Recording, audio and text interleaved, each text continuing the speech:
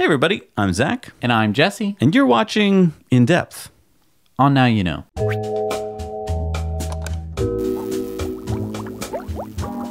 We're sponsored this week by A Better Route Planner, which is fantastic software to get you where you're going in your electric car. It finds all the chargers on your route and it lets you use waypoints. And now the browsers in your Tesla are fast enough to run it. And we're also sponsored by ecowear.us.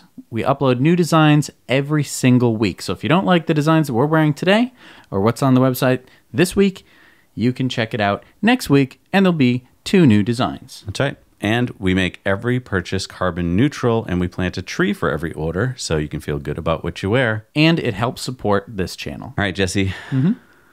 I think everybody tunes in because they know they're going to get a little little dash of hope for Tesla when they watch us. Uh-huh. This week is no different. This is the short squeeze, people. It's coming up. We want to tell you why it's going to happen. So let's take a look at this chart right here. This is a chart uh, in red of the stock price of Tesla. You can see that it dipped quite low three weeks ago, down sub 180. Right. And then in blue, you can see the number of shares that have been shorted in the stock. So, as you can see here, it's pretty much at an all time high. 34.7% of Tesla shares are shorted shares. So I am not a stock guy. And I don't know what shorting means because, again, I'm not a stock guy. What does shorting mean? It means you borrow the shares from somebody and sell them now, and then buy them back later when you hope that the share price is lower. So this isn't like your normal kind of stock trading, like, oh, I bought some shares in this and I hope it goes up. Well, it's normal for a lot of traders. It's mm-hmm. normal to, sh- to short shares. You sell high, buy low. But no, you're selling the shares and then you hope that the company does worse Right. and then you, s- uh, you buy the shares. Yeah, it's confusing, but yes, you got it. You sell them first, you buy them later. Sell them first, but because usually you, you don't, you can't sell it something that you haven't bought Right. yet. But here you borrow them, and when you borrow the shares, you pay about one percent interest to to basically borrow the money uh, while you are shorting the, sh- the stock. Yep. Okay. So we're at an all-time high for Tesla. It's the number one shorted company right now, with over ten billion dollars in shorted stock. And so uh, the number one had been Apple with $10 billion in shorted stock, but now it's number two. And I want to point something out that's kind of interesting about this because you might think, okay, well, Apple's been shorted 10 billion, Tesla's been shorted 10 billion, but how big is Apple as a company? Like how many people work there? Well, how, how big is the market share? How many billions of dollars is it worth? Oh, the market cap. Yes. The I I've the learned market, this one. market capitalization. That is the number of shares times whatever the share price is. Very good. Uh, let me do a quick bit of math.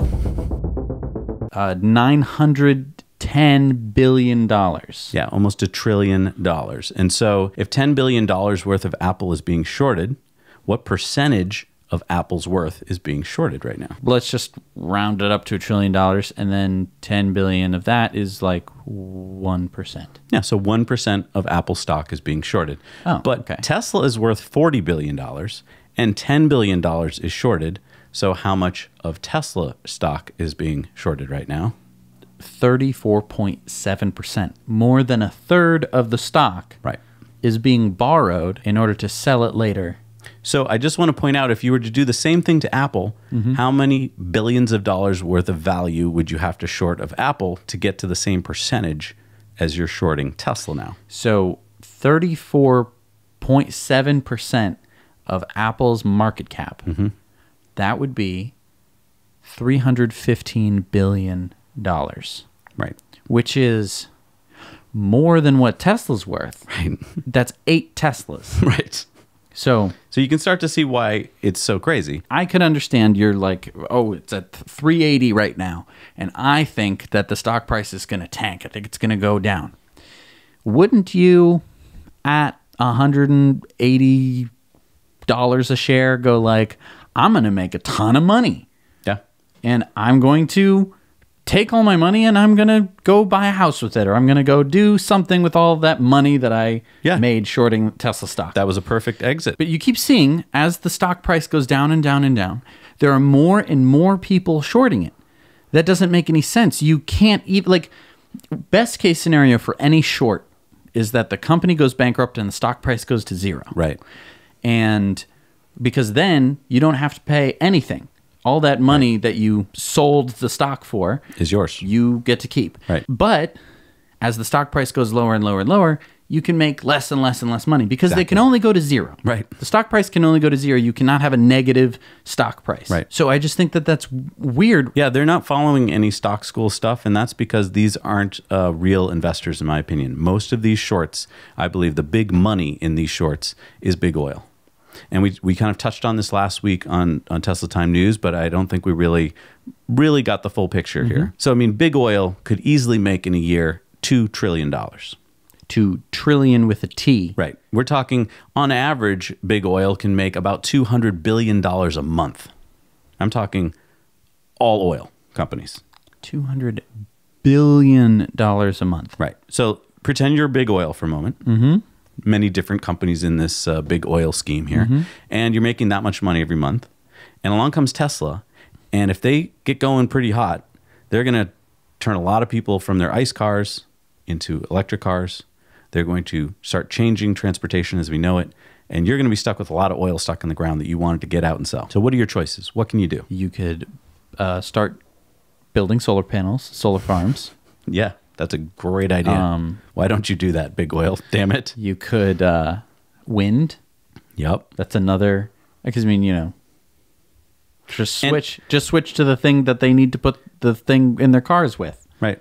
But that doesn't change the fact that you have all that oil in the ground you want to get out. So, yeah, you said you can build uh, wind power, you can bring, build solar power. That's great. Uh, but what can you do to slow down Tesla? Because you've got to slow them down. The faster they operate, the more factories they can open, the more cars they can sell, the faster they're going to transition to EVs because everyone loves Tesla. Everyone loves their EVs. All the other car companies, their, their EVs are not very well loved. We've already showed that. It's true. Right? So you've got to slow down Tesla. How can you slow them down? You could try and do some investigative journalism, and you could try and poke holes in Tesla's business model to see if there's like some problem. So you're going to spend a lot of time investigating whether Elon really does care about the planet. How's that going to slow down Tesla? Well, I mean, what are you suggesting? I mean, what you can either find a logical flaw in their arguments, like You are oh, much too logical here. okay, They've got one thing and one thing only. Okay. Lots of money. sure, okay. So, So- you can hire a lot of researchers. Uh, no. Okay, what then? You can th- short the stock. Just what you Oh. do is just pour money at the stock, even though you know you're going to lose it. Because what does that do? Every time the stock starts to inch up a little bit, Mm-hmm. you just sell some more of it. So the stock price gets driven down. And all those people out there, and I know you're watching right now, you bought some stock and it's lower than what you paid for it. And what do you feel right now? You feel this pit in your stomach where you're like, oh God, was that a bad decision? Mm. I don't want to tell anyone about the stock I bought. Uh, maybe I should just sell and forget the whole thing. That's what a lot of you are feeling right now. That's what a lot of even professional investors are feeling right now. even if you like Tesla, even if you're like, I think the company is going to do well, if you are like a hedge fund manager and you're like, oh, I want to buy me up some Tesla shares, what do you think all of your investors who don't know too much about anything, they just have a lot of money and they're giving it to you to, to invest in, what do you think they're going to say? They're going to go, why are you investing in Tesla? Exactly. Don't invest in Tesla. Are you crazy? Their stock is going down. I am going to pull all of my funds out of this out of this firm. I'm going to go to the guys who are shorting it. We just heard at the shareholders meeting for Tesla that shareholders got up and said, Many of my intelligent friends are not buying this car because they're afraid you're going to go bankrupt. Right. So that's keeping people from buying the cars. Woohoo! Big Oil's like, yeah, it's working. We're slowing them down. Yes. Yes. Because let me tell you, if this stock were flying through the roof right now and everything was going gangbusters, all those same people would be going, oh, I got to get myself in a Tesla. right. I got to buy myself some Tesla stock. So nothing factual has changed here. Just the mood about Tesla isn't impacted by big oil shorting the company. And think about it for a second $200 billion a month. So throwing a few billion at shorting the stock, because we're only talking 10 billion is shorting the stock right now, only 10 billion. Uh, that's not, that's just chump change for big oil. They spend that on advertising, they spend that on lots of things Right. it's really not a big deal for them to lose money and that's what they're going to do and here's why at some point so much good news about the company cannot be ignored and so we've gone through lots of fud right together. We've talked mm-hmm. about all the fud that's been happening. But what's going to be coming up soon? Well let's talk about the earnings call that'll be happening on august 5th at that q2 earnings call we could start hearing some pretty good news. For instance so there's a shanghai gigafactory being built as we speak. Mm-hmm. And Tesla opened up orders for the Model 3 in China. And we know that some just kind of anecdotal reports that their computer systems went down. There were so many people trying to log on and order the car. But we don't know the exact number.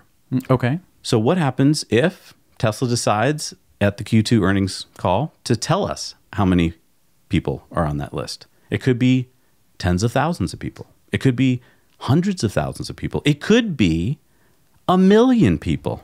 It how could it be a million people? That's that's a I mean that's a lot. Well, let's think back. We were standing in line one day, way back in 2016. And uh, we were waiting in line for what? The Model 3. We were going to put down our reservation for the Model 3. Yeah, we're going to put down a thousand dollars. I put down a thousand. You put down a thousand. Uh, Two hundred fifty thousand other people put down a thousand dollars for a car that did not exist. All we knew that it was going to be called the Model Three, Okay. and that was in the United States. Let's move over to China right now. The car now exists. It's in China, being driven around. There's Tesla stores in China. Mm-hmm. There's a Tesla factory, a Chinese Tesla factory in China. You can buy a Chinese made car in China. And I mean, it's going to be cheaper than it's ever been to buy this car. And let's talk about the Chinese market. Mm-hmm. So China's got a bigger population than the U.S. What's the population of China? 1.38 billion people. What's the population of the United States? 325 million. Okay, so they have over a billion more people. Their car market is four times bigger. The number of cars sold every year is four times what it is in the US. I'm just saying it's not impossible since we had over 250,000 people in one day sign up for the car. It's not impossible that they'll have a million people sign up for the Model 3. Now, what if that information comes out at the Q2 earnings call? How do you think that's going to sound? What will they be able to say about, well, Tesla's having a demand problem? Yeah, I mean that's that's a hard story to sell. maybe a million people that will have put down a deposit on the car, Right. like serious demand. That could happen at the Q2 call. Now, the story you've been seeing for months now are these stories, right? Tesla demand is down. That's one of the biggest FUD drivers that we've seen so far is, well, Tesla had its day. They had their early adopters, but those guys all have their cars now. And uh, Nobody else wants them. demand's drying up. If we see that happen, that's going to be a big signal for the stock to go up. because this narrative just won't exist anymore.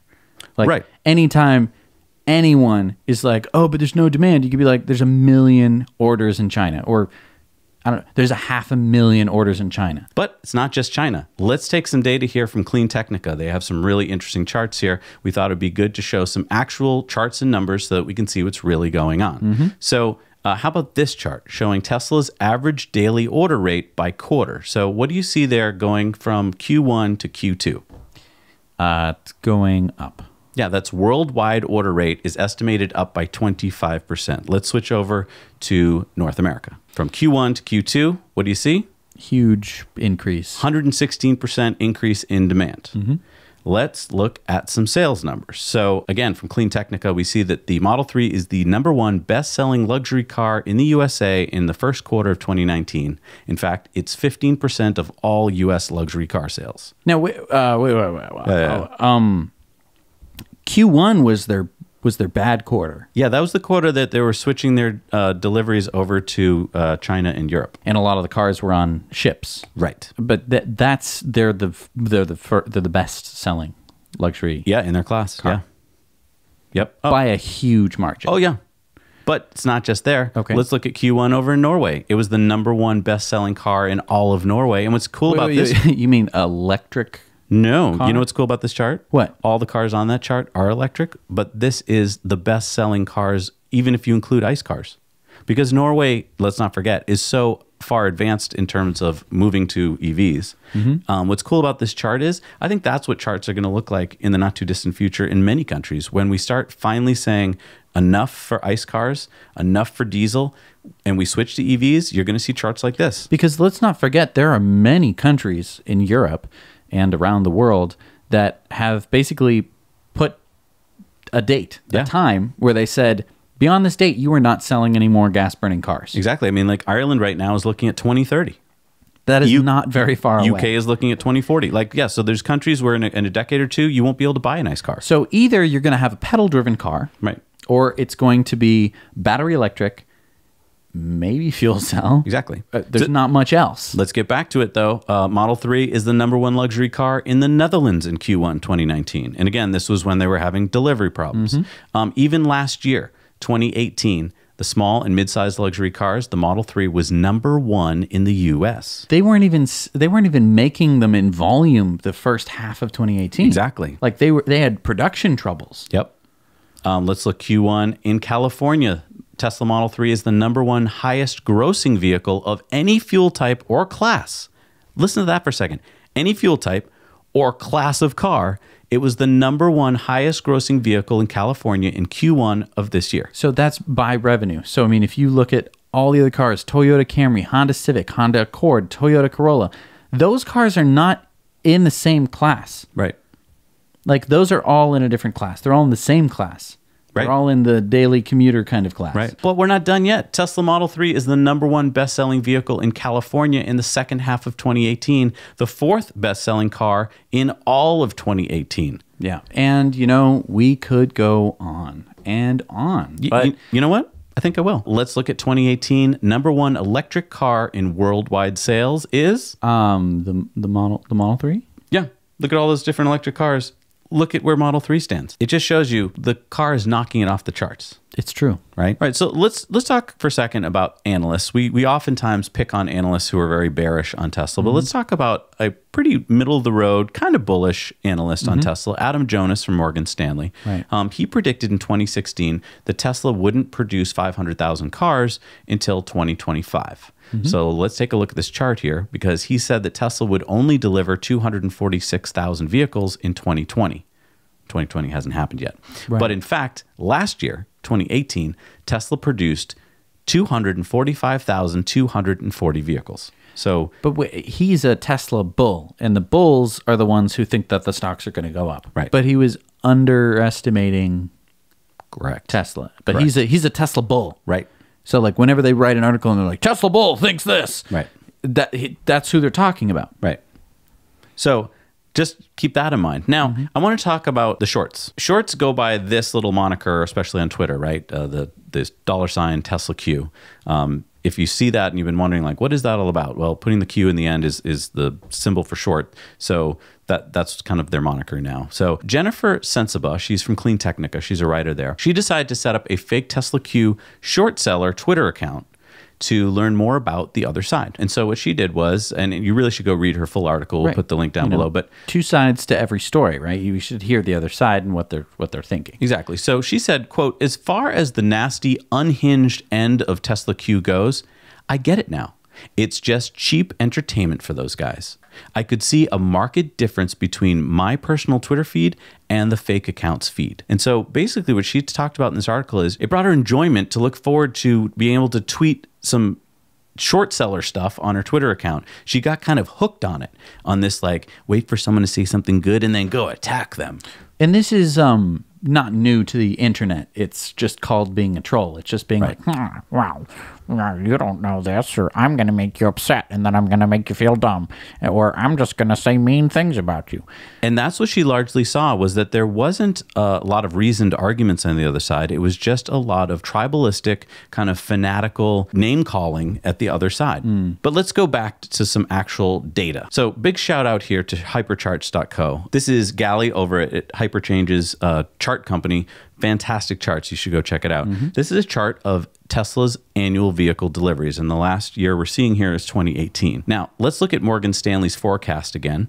They're kind of bullish. They're mm-hmm. saying 360 to 400,000 vehicles are expected to be delivered in 2019. Mm-hmm. But let's say, to be less bullish, the Tesla's numbers are going to be flat, about 90,000 cars delivered for each of the next three quarters. So that would be 333,000 cars delivered for 2019. and so ninety thousand. You're saying Q4 numbers. Yep, just keep Q4 numbers, you know, flat across the year, other than Q1, which was lower. So you're ignoring the Shanghai Gigafactory. Yep. You're ignoring um, more production. Yep. Any production growth whatsoever. Yep, I'm just trying to be kind of pessimistic. Okay. And so if we're kind of conservative and we say that Tesla will deliver 333,000 cars this year, that would be a 42% increase over an already record breaking year of 2018. And numbers are hard. So let's look at a graph I put together. That big red bar would be 2019, my pessimistic 333,000 car um, prediction. How's that look? What does that look like? Um, it looks pretty exponential. Looks pretty. Looks like an S curve. Yeah, looks like an S curve. So what I'm saying is, when the numbers finally come out at the end of this year, it's going to be pretty hard to look at that chart right there and start pointing to, well, demand problems, production problems. Right. Because- because that's just growth. That's a lot of growth, and that's a pessimistic number I'm giving you. So what else is coming up this year? Um, it's probably going to be another Marvel movie.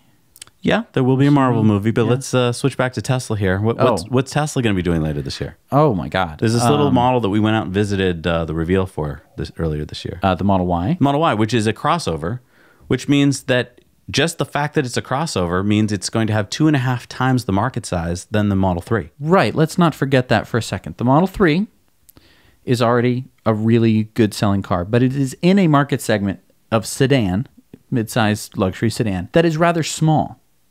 The crossover market is huge because Right. most people don't want to drive a sedan anymore. Most people want to drive a crossover. The Model Y is a crossover, and yet no no one has talked about the Model Y since a week after its unveiling. Like Right. that was the last time we heard about the Model Y.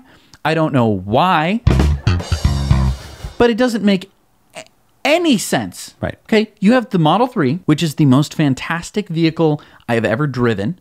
Um, and, and it's not just me saying it. People who drive gas cars, people who think that electric cars are dumb, are like, this car is amazing. Take the Model 3, boop, raise it up a little bit, pop a hatchback on there, Add some seats. optional seven seats. There's your, there you go. You just made a better Model 3. You just answered why there wasn't that much excitement about the Model Y. You know Right. why? Why? Because the Model 3 was already here. We were already so excited by it that we were like, yeah, okay, Model Y, you're not going to make it yet? Fine. We're, we're so excited about this car that we've already got. It's true. So that's what it is. When the Model Y does actually come out, though, it's going to fit the needs of so many consumers. It's going to sell fantastically. So that means that now we're going to have this whole new car that Tesla has for a whole new group of consumers. Right. But, you know, Tesla can't stake its whole future on the Model Y, right? Sure. If it's only 2.5 times the market size of the Model 3. It's this chart we're looking at now of, of sales. Mm-hmm. It's going to dwarf that because you're going to throw this into the mix and it's going to have just so many. The only problem will be production. right. So now let's look at some other things that are coming up for Tesla. There's already been the Raven Model S and X. I won't call it refresh, but basically Update. Update. And so that's already being taken really well. I mean, we heard Eli earlier this week Mm-hmm. talking about his Raven refresh and how it's just the most amazing car he's ever seen. Mm-hmm. Both he and Alex from E for Electric said it's probably the best car there is. Yeah. But there's going to be a refresh of the Model S and X. Right. And we don't know everything that's going to be a part of that refresh. And I wanted to put it to you like this if you are someone who can afford a Model S or a Model X, um, you're going to be the type of person who wants the very best because that's typically if you're very rich, you want the very best. There's a, there's a big segment of that market. Now, I'm not saying everyone who buys a Model S or X is like that. I'm going to be happy with Sparky. I, I understand. Well, I'm not talking about you Okay. segment of the market, got to have the best. Model S and X for the longest time were the best. Right. Model 3 comes out. it's- suddenly, that's the best. That's newer. Right. The Model 3 is newer. The Model S and X haven't changed. Right. As soon as this refresh comes out, the balance will be restored in, In the force. yes. And um, you know, the Model S and X are going to be the cars that they should be, which are like super luxury. They're going to have Right. an update of, with better materials and all the things that the luxury market people care about. Because basically, the demand was not really gone. Right. It's just that it was like, how can I show up my friends at the golf course with a Model S if they can show up in the Model Three and they're they're basically neck and neck, Right. You know, um, yeah. What, what an amazing problem for a company to have. exactly? Right. That's going to happen. And now we're, we're going to find out the demand wasn't really gone. Every Mm-hmm. quarter that goes by, we're going to see the demand wasn't an issue. And then wait till this China factory is online. Right now, it's not really a news story for most of the mainstream media. It's like, they don't even really mention it The because times they do mention it, it's this risky factory. It's risky. Even though the Chinese banks financed it, it's still is risky, risky. Right. Oh, we don't know if it's going to happen. Even though it's happening uh, faster than you've seen any factory being built ever. Right. It eliminates all the tariffs. And they keep bringing up this FUD the mainstream media does, where it's like, well, China's getting rid of their incentives. We've told you about an incentive they're not getting rid of. In fact, one that they're adding, which means that if you live in some of the bigger Chinese cities, the only way to get a car is going to be to drive an electric car because that's the only way you'll get a license plate. Right. So, So- that's happening. And then we got another little day coming up sometime, Mm-hmm. Elon said probably by the end of the year, which is Battery Powertrain Investor Day, where they're going to reveal all kinds of who knows what about technology that they've been working on with the powertrain and the batteries. Right. And here's the thing the 2012 Model S has still not been beaten by the competition.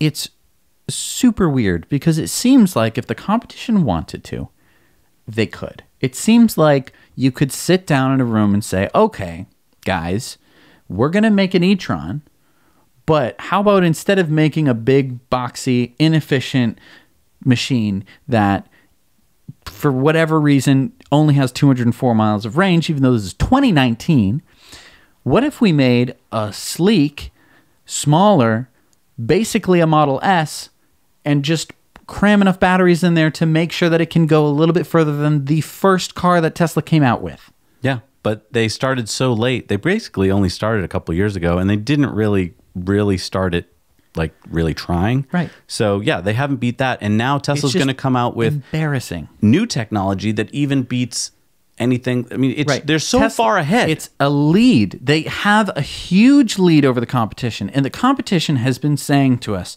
there's going to be this new battery technology. And when that happens, we're going to acquire it. We're going to get it. We're going to buy it because we have all the money in the world. But Tesla is actually going to be implementing it into the cars. Right.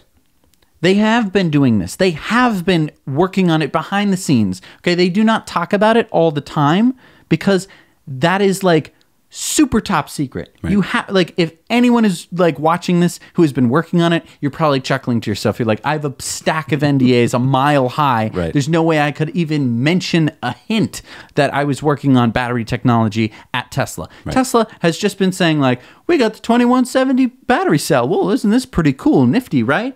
Meanwhile, behind the scenes, they're acquiring Maxwell Technologies, which everyone did hear about and everyone thought wasn't going to happen. It happened. They acquired it. Maxwell Technologies has a bunch of awesome battery technology, ultra capacitor technology, Yeah, and and, the- Tesla's just going to roll out with it one day. and the cool thing is they don't have to go forward, you know, 40 times better. They just have to be 10 or 20% improvement over what they've got now and that would be mind-blowing because they've already got ranges of 370 miles. Right. It's steamrolling the competition. Battery and powertrain day. It's going to be another curb stomp on top of many curb stomps that Tesla has been uh, dealing to the big auto industry. Right. Of just like, where are your cars? Why do your cars suck? To that point, the other big thing that's coming up at some point this year is the Tesla pickup truck reveal. And when that day happens, it's going to turn a lot of heads. It's going to be a big news story for pretty much everybody because no matter how crazy this car looks, no matter how sci-fi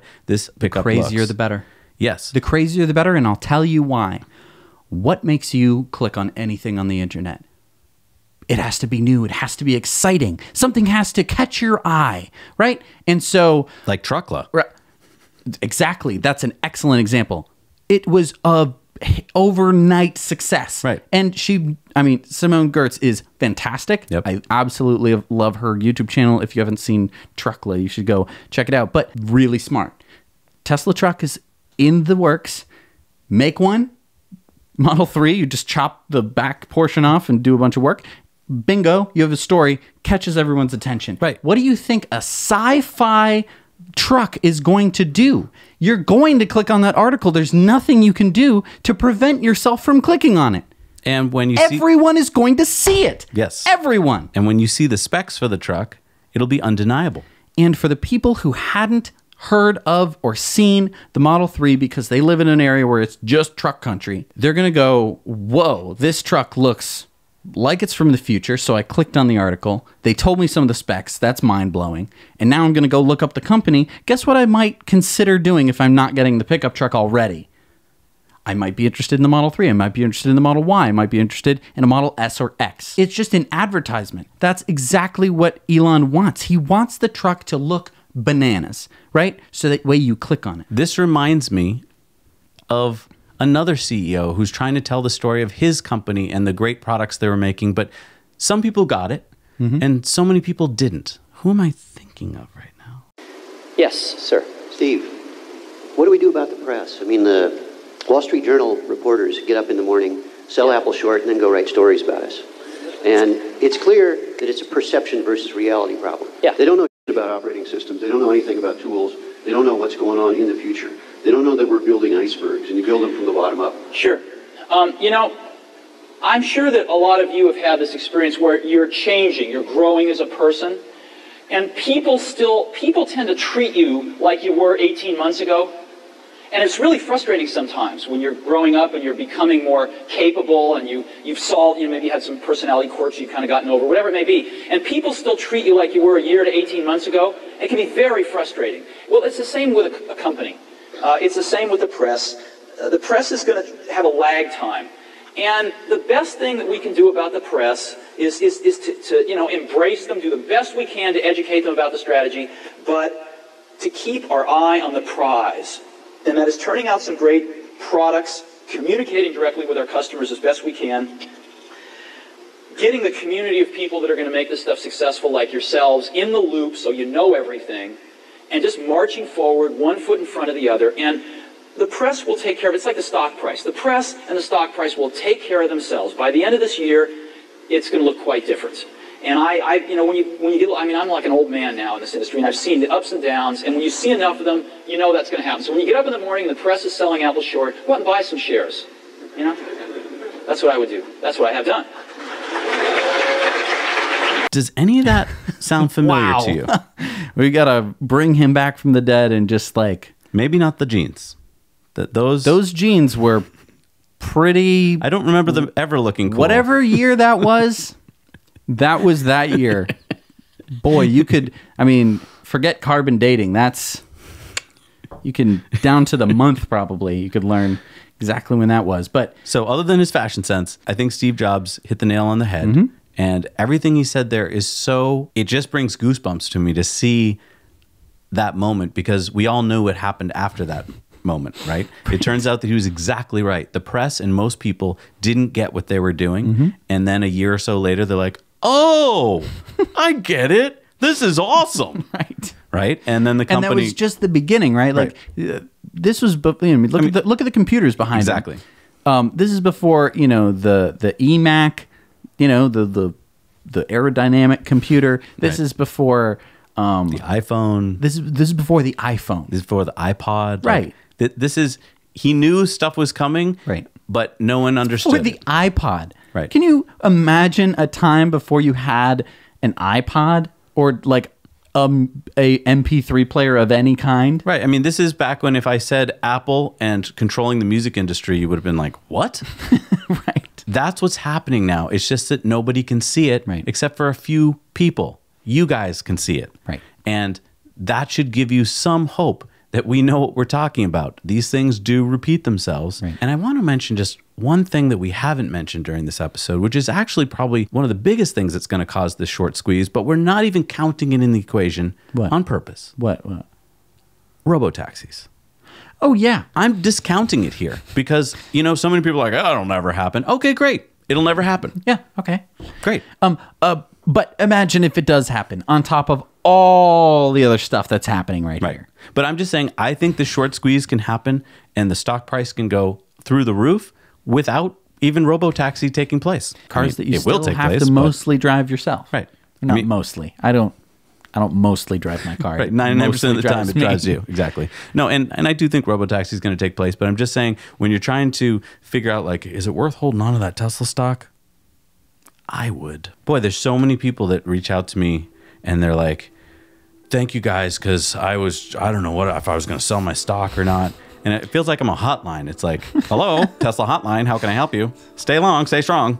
This always happens. Mm-hmm. Um, and, and that's why it was so great to hear Steve Jobs say it that yes, it goes up, it goes down. I mean, once you realize that and you look at a stock chart in that way, I know that a year seems like a long time. I know that you're like, what, I have to wait a year? Yeah, you're going to have to wait a year. You're going you're gonna have to wait more than a year. Hold your stock for a long time. It is not for selling in a year, it's for selling in a few years, many years. The more years, the better because that stock is just, in my opinion, Mm-hmm. going to go through the roof. Right. Thank you so much for watching this video.